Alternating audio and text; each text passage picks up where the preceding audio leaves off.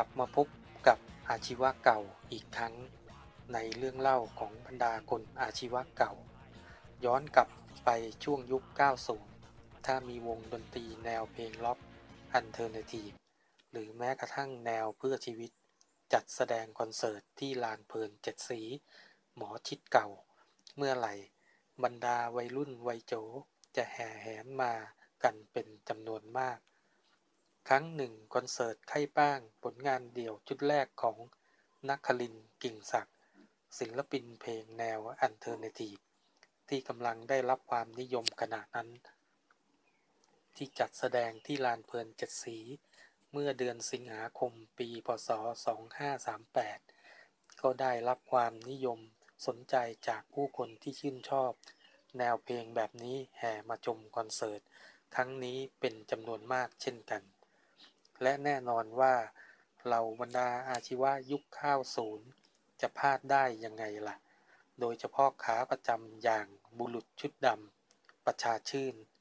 ก่อสร้างเทวดาอินทระช่างกลชาวนาบูรณพลปีศาจตอกจันกนก และบรรดาศิลป์ต่างๆ ช่างกลเทคนิคหลายแห่ง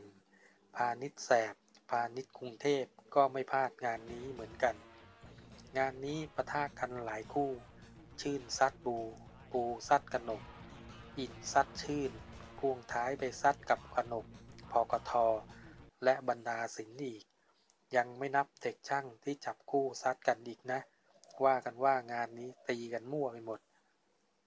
ผลพวงจากบรรดาวัยรุ่นและนักเรียนอาชีวะเข้ามาชมคอนเสิร์ตกันเป็นจำนวนมาก และยกพวกตีกัน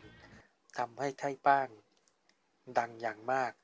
เพราะเช้าวันรุ่งขึ้น หนังสือพิมพ์และสำนักข่าวต่างๆ ลงข่าวคอนเสิร์ตไข่ป้าง นักเลงอาชีวะตีกันเละ และนี่ก็คงเป็นเรื่องเล่ามุมหนึ่งที่ถูกเล่าขานต่อๆกันมา มากกว่า 20 ปี ถึงประสบการณ์งานคอนเสิร์ตครั้งนั้น เพื่อบอกต่อไปยังอาชีวะรุ่นหลังๆ ให้ลดละเลิกไม่ใช้ความรุนแรงต่อกัน และขอขอบคุณข้อมูลจากทุกๆทท่านครับ